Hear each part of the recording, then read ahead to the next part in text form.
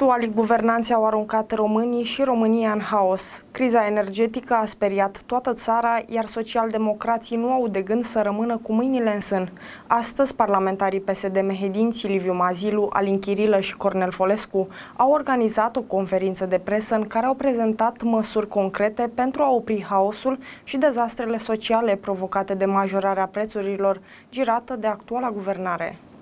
V-am invitat astăzi aici pentru a vă prezenta și, sigur, prin intermediul dumneavoastră cetățenilor, tuturor celor interesați, care sunt uh, pozițiile și propunerile Partidului Social Democrat pe ceea ce numim astăzi deja criza energetică din România, situația foarte gravă în care s-a ajuns cu escaladarea prețurilor facturilor la energie electrică și gaze și Vrem să vă prezentăm care sunt soluțiile Partidului Social Democrat, soluții pe termen scurt și, evident, soluții pe termen mediu și lung. Prin urmare, soluția pe termen scurt este cea care s-a materializat ieri prin depunerea în Parlament a unei inițiative legislative conform căruia, conform căruia să se uh, plafoneze prețuri la energie electrică și la gaze. Uh, este un proiect de lege simplu, are patru articole, nu mai mult, și cred că este foarte ușor de aplicat și invit pe toți parlamentarii din toate partidele politice să voteze acest proiect de lege, pentru că numai așa putem să ne facem rolul de a fi în slujba cetățenilor și nu a marilor companii din domeniul energiei în slujba băieților deștepți, cum din păcate guvernul a demonstrat până în prezent că este. Uh, practic, uh, plafonarea temporară a prețurilor la energie, prevăzută în acest proiect de lege, se face la nivelul mediei tarifelor din ultimele șase luni, respectiv martie-septembrie. Prin uh, aceste prevederi, statul va suporta 50% din scumpirea rezultată în facturile cetățenilor, iar profiturile uriașe ale producătorilor de energie și gaze vor fi impozitate. Asta este conținutul pe scurt al acestui proiect. Aceasta este soluția colectă pe termen scurt pentru ca românii să poată trece în, uh, cu bine, cu, să spunem, cu o cât de câtă siguranță peste această iarnă. Uh, argumentele invocate până acum în spațiu public uh, de către premier, de către ministrul energiei, din păcate și chiar și ieri, că legislația europeană nu permite acest lucru, sunt evident false. Uh, deja Spania a adoptat astfel de măsuri și mai sunt șase state europene care au în discuție plafonarea acestor prețuri.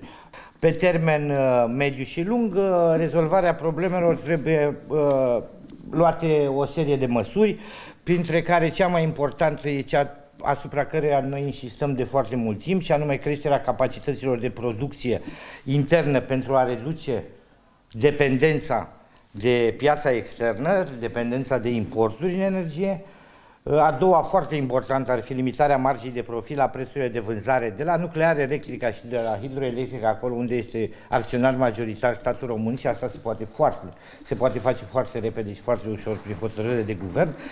Și foarte important, accesarea în final a fondului de modernizare, unde România dispune de 10 milioane de euro. Este un, vorba de un mecanism european prin care 10 state mai puțin dezvoltate energetic din Uniunea, Uniunea Europeană au la dispoziție bani europeni nerambursabili pentru modernizarea capacităților de producție și extinderea acestora în domeniul energiei, astfel încât să se treacă treptat către energia verde. Ministrul Energiei a propus o libera- și guvernul a acceptat-o, evident, o liberalizare a pieței de energie.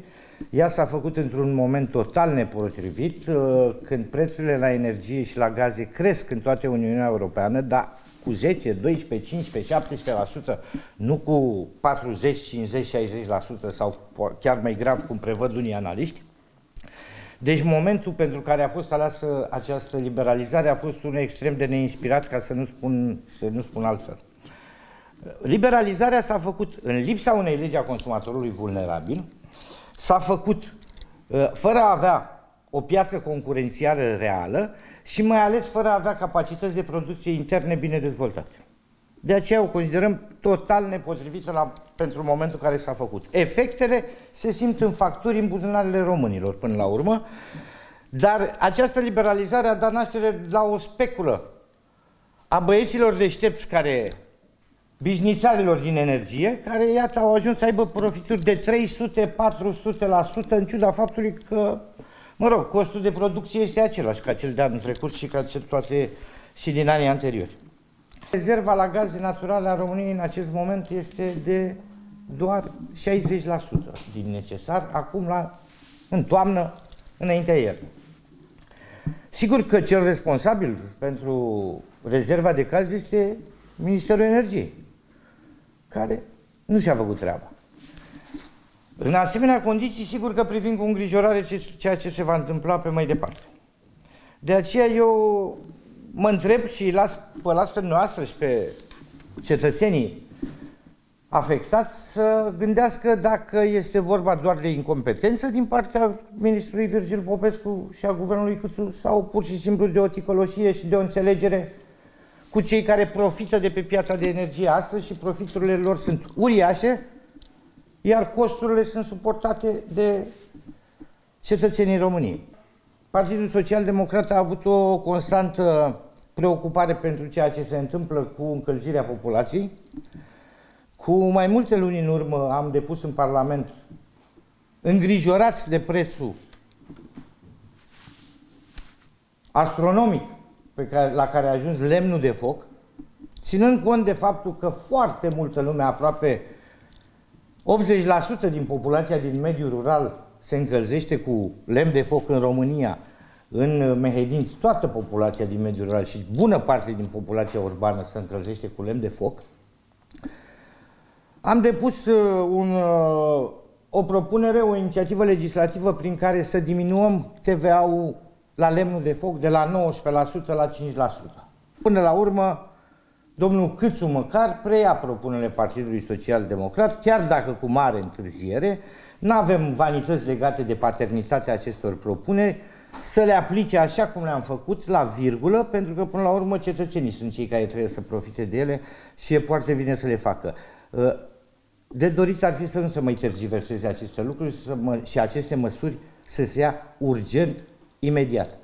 Măsurile luate ieri de actualul guvern, în discuție în ședință de guvern, sunt total în uh, dezavantajul uh, populației. Și vă spun asta pentru că au găsit de cuvință ca în loc să plafoneze prețul la energie, spre exemplu, au găsit de cuvință să dea din banii de la buget să subvenționeze cu 20, 20% sau 25% factura fiecărui cetățean care se află în dificultate de plată. Mă refer la acea categorie de consumatori vulnerabili. Bun. Ce înseamnă asta? Că, de fapt, pușculița celor care se înfructă din, din toată, această, toată, toată această măgărie, și nu mă feresc de cuvinte, făcută la nivel guvernamental în colaborare sau strânsă legătură cu firmele care căpușează energia românească de 30 de ani încoace, practic ei nu pierd nimic. Practic se schimbă sursa banilor. Iar indirect tot populația suferă pentru că deficitul bugetar crește ca urmare a acestor, acestor subvenții. Iar pe de altă parte, pe de altă parte, inflația la rândul ei crește. Lucru care cu siguranță știți foarte bine că se reflectă în buzunarul fiecărui cetățean. Și al meu, și al dumneavoastră, și al tuturor celor care probabil ne urmăresc. E bine, de asta, această lege pe care colegii mei din Partidul Social Democrat au pus-o ieri, au depus-o ieri la Parlamentul României, vine cumva în uh, întâmpinarea acestor efecte dezastroase pe termen mediu și lung uh, și în egală măsură, în egală măsură corectează, corectează în bună parte ce s-a făcut rău până acum. Să sperăm că cei din uh, arcul guvernamental, coaliția care încă ne mai conduce destinele, uh, vor avea maturitatea, decența până la urmă, de a veni și vota această lege care, repet, este făcută strict în folosul cetățenilor și nu, ca până acum, în folosul căpușarilor din uh, energie. La momentul acesta, țara noastră trece printr-o perioadă destul de grea și sper ca guvernanții noștri dragi cu ghilimele de rigoare să aibă un punct, să ajungă la un punct de vedere comun, astfel încât noi, populația, să nu avem de suferit foarte mult, fiindcă deja, ați văzut și dumneavoastră, sunt facturi care ajung la populație la semnii noștri foarte, foarte mari. Uh, sper ca, sperăm ca, într-un final, domnul ministru al energiei, Virgil Popescu Mehedințean, de altfel, uh, să înțeleagă că această compensare a facturilor fără plafonarea prețurilor ar duce la niște decizii criminale care vor îndatora și mai mult fiecare cetățean al nostru locuitor al României. Săptămâna trecută, cum spunea domnul senator, domnul Câțu spunea că nu este de acord cu această plafonare a prețurilor. Săptămâna aceasta s-a răzgândit, uh, dar după cum vedem, domnul ministru Virgil Popescu, mehedințeanul nostru, se opune total deciziilor și celor spuse de șeful lui de guvern al domnului premier Câțu. Uh, mai mult de atât, vedem că poartă grija uh, beneficiarilor, posibilor beneficiari acestui plafonări uh, a celor populații care au un venit, un câștig lunar mai mare. Și nu prea înțelegem de ce poartă această grijă, fiindcă nu vedem că poartă aceeași grijă către băieții deștepți, așa cum spuneau și colegii noștri, care obțin profituri exorbitante în aceste perioade de peste 300-400%.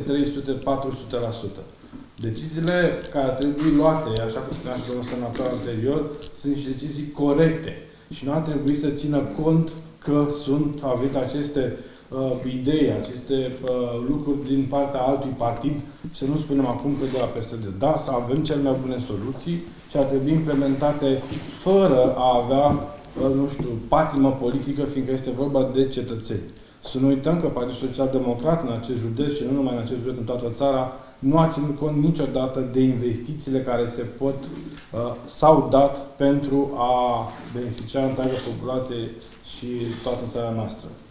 Uh, n-am înțeles de ce poartă această grijă și mă repet către posibil beneficiari cetățeni care ar avea venituri mai mari când este vorba de plafonare uh, și nu ține cont de acești industriași acest uh, giganți ai României care produc energie, acest băieți deștepți. Să nu uităm că tot atunci a purtat și grija celor de la uh, Constanța care au vrut să atribuie direct peste 600 de milioane de euro pentru două termocentrale și dacă uh, Bruxelles nu observa această mică șmecherie, să spunem așa pe românește, iată că băieții deștepți iar uh, câștigau în fața populației și probabil tot la fel aceștia vor să îndatoreze și mai mult țara. PSD cred că este soluția corectă pentru România și uh, cred că trebuie să ne dăm mână cu mână acum pentru cetățeni. Să mai fim orgolios, să preia această, acest proiect de lege. Am văzut că e posibil să și copieze, ar fi extraordinar de bine. Nu ne supărăm numai că este bine pentru cetățeni. Haideți să fim corecți și să ne gândim că, practic, prin uh, Uh, deciziile care au luat și acțiunile care au luat în ultima perioadă au băgat mâna în buzunarul fiecare dintre noi. Fiecare dintre noi care, cum bine știm, sunt, avem asistat social, avem persoane cu vulnerabilități, avem persoane care au un venit mic. Să uh, fim conștienți că fiecare creștere din domeniul energetic duce la scumpirea tuturor facturilor. Duce la scumpirea contractelor de servicii, duce la scumpirea întregii vieți a coșului zilnic al fiecare cetățean al nostru. Uh, neadoptarea acestei, acestui proiect legislativ de, în uh, maximă, maximă urgență, ne va duce pe toți în zona, pe toți, și ne-asum ce spun, pe toți în zona de consumatori vulnerabili. Toată România va deveni o țară de asistați sau de consumatori vulnerabili. În ritmul care, galopant în care prețurile energiei cresc, coroborat, așa cum spunea și colegul meu, domnul Chirilă, cu faptul că pe lângă energie să-ți cumperi toate produsele și tot ce înseamnă servicii și așa mai departe, cu siguranță, în foarte, foarte scurt timp, vom ajunge toți niște consumatori vulnerabili. Nu va mai exista clasă de mijloc, nu va mai exista nimic, va exista doar o categorie de cetățeni poate cumva favorizată din punctul de vedere al faptului că vor munci ca să-și poată plăti facturile. Prin acest proiect al nostru de, de plafonare a prețurilor, nu venim numai în sprijinul populației, a consumatorilor casnici, ci și a consumatorilor industriali, a celor care produc în România, pentru că aceștia în lipsa acestei compensări vor fi nevoiți să își cresc costurile de producție, ceea ce va duce fie la creșterea prețurilor, care sigur nu vor mai putea fi suportate de populație la un moment dat, fie la, uh, Doamne ferește, pierderea de locuri de muncă, închiderea de capacități de producție și la pierderea locurilor de muncă, ceea ce ar fi foarte grav. Pentru toate, tot ceea ce se întâmplă, însă, noi îngrijorați fiind de situația creată, am uh, cerut o anchetă. Am cerut uh, realizarea unei comisii în Parlament care să vadă ce s-a întâmplat și de ce s-a ajuns aici. De ce la noi, față de Franța, Italia, Spania, Germania și alte țări, unde există într-adevăr creșteri la energie, da, cu o valoare de 10, 12, 17%, la noi depășesc 50% creșterile.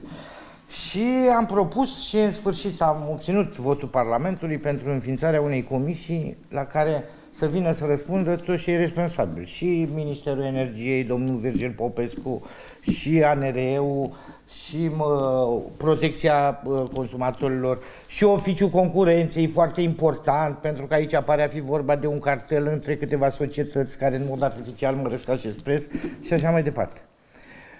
Sper ca măcar în fața cred că de luni își va începe lucrările această comisie, să vină domnul Virgil Popescu, pentru că ieri în Parlament a refuzat să vină la ora guvernului, când a fost invitat ca ministru să răspundă acestor întrebări, n-a participat la, la Camera Deputaților conform programului anunțat, probabil a avut alte chestiuni mai urgente, dar uh, va veni. Și nu știu de ce cred eu că nu e singura comisie în care va veni, pentru că Odată cu trecerea timpului, adevărul va ieși la iveală și se va vedea dacă este, așa cum spuneam, incompetență sau un plan bine ticluit, bine pus la punct, bine gândit, din urmă cu doi ani, care a condus la aceste profituri uriașe ale, ale unor companii pe seama veniturilor populației vulnerabile. Eu sunt convins că lucrul ăsta mai devreme sau mai târziu se va întâmpla și toți suntem responsabili pentru faptele noastre. Uh, nu știu cum doarme domnul Virgil Popescu când este groparul economiei românești și când uh, se gândește că sunt milioane de români care ar, plăti, ar trebui să plătească veniturile pe câteva luni ca să poată trece de iarna asta.